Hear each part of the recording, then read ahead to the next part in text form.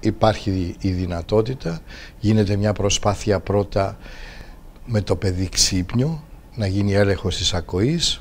Εάν όμως είναι σε τέτοια κατάσταση που το παιδί δεν ηρεμεί, μπορούμε σε πρώτη φάση να του δώσουμε σιροπάκι, να ζαλιστεί ας το πούμε έτσι λίγο και στη συνέχεια να κάνουμε τον έλεγχο. Εάν όμως παρόλα αυτά το παιδί δεν κοιμάται, δεν ηρεμεί, τότε θα μπορέσουμε να του δώσουμε γενική αναισθησία, δηλαδή μέθη αέριο απλώς στο στόμα και τη μύτη, ούτως ώστε να ζαλιστεί και να προχωρήσουμε στην εξέταση. Έχουμε ειδική αναισθησιολόγο για τα μικρά παιδιά η οποία γνωρίζει δόσεις και τρόπους αντιμετώπισης τυχόν προβλήματος και έτσι δεν υπάρχει κανένας κίνδυνος από το θέμα της χορήγησης γενικής αναισθησίας.